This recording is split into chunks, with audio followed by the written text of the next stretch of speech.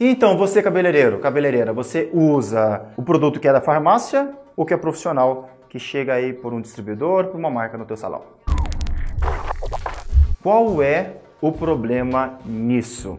Na verdade, existem produtos bons que eles estão no mercado, estão na farmácia, de marcas internacionais. A questão aqui não é falar bem e nem mal dos produtos, mas é o que contém no produto. Qual é o resultado que a tua cliente quer? Quando você pensa em resultado, o que tem dentro daquele kit? Já viu um kit de, de, produto que você compra na farmácia ou compra no mercado? Ele já vem o produto e vem também ali uma máscara que é para você fazer em duas ou três etapas e já vem o seu AX. E aí que está o problema. Por quê? Porque na maioria das vezes, em quase 100% dos casos, Nesses kits, quando você escurece o cabelo, existe ali, já pronto, já no kit, uma água oxigenada, um AX de 20 volumes, quando você quer escurecer. Mas será que todas as vezes que você quiser escurecer você tem que fazer com 20 volumes? Você sabia que a melhor e a, o perfeito escurecimento acontece com 10 volumes no máximo? Se for menor a volumagem, é melhor ainda, porque você não precisa de nenhuma explosão de oxigênio, você não precisa clarear nada, e 20 volumes tem poder de clareamento. Você só precisa de depósito de pigmento, então vai desbotar mais rápido a cor. E se você quiser clarear o cabelo, qual é o AX que vem nessas caixinhas? De 30 volumes.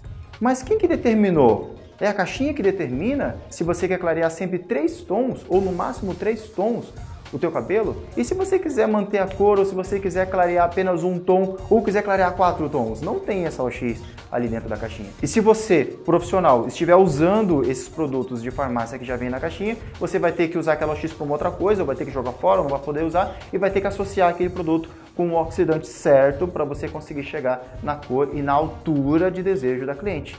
Conseguiu entender? Se eu estiver falando agora com uma cliente final, isso é um problema. Por quê? Porque ela vai passar do fundo de clareamento que ela deveria, ou ela não vai chegar no fundo de clareamento que ela quer. Por quê? Porque ela tem ali um padrão de oxidante. Mas, dependendo da cor de desejo, ela pode usar, ela tem que usar 20 ou ela tem que usar 40 mas ali só tem 30 dentro da caixinha. Isso a cliente não sabe. E você, profissional, o que mais você precisa saber sobre esses produtos que são de caixinha, que estão lá num kit que já vem no mercado e na farmácia. Você sabia que aquele produto que você aplica depois do cabelo já estar descolorido, ele é como se fosse um neutralizante da cor?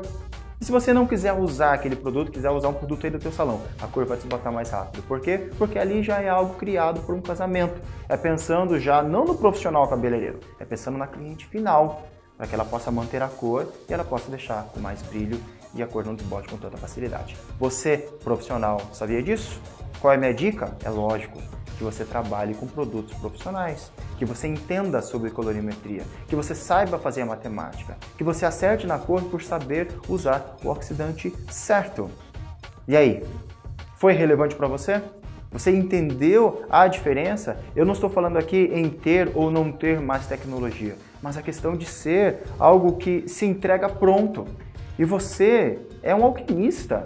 Você que está me escutando agora é um colorista ou está se transformando num colorimetrista, você precisa fazer suas alquimias, suas misturas. E, e comprar uma coisa que já vem pronto, que já vem um kit, não te dá a liberdade para isso. E uma outra coisa, sim, o produto, que é o produto profissional, ele vai ter uma tecnologia melhor, ele vai ter um resultado melhor em brilho, em fixação da cor, sim, melhor do que as cores e os produtos que nós vemos que são destinados aos clientes finais. E o que você achou? Gostou dessa informação? Por favor, comente aqui sobre o que você achou e você se inscreva no canal também, me dá o teu like e não deixe de apertar aqui o sininho para que você receba todas as notificações. Nós nos vemos no próximo vídeo.